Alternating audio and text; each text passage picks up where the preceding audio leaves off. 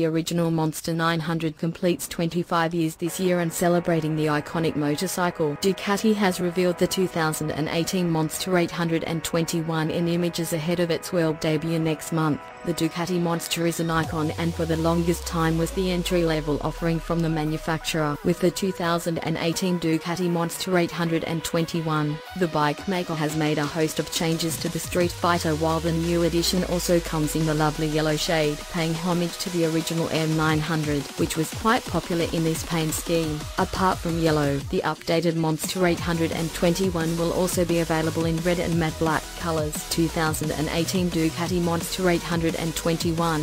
The fuel tank on the 2018 Ducati Monster 821 is borrowed from the Monster 1200.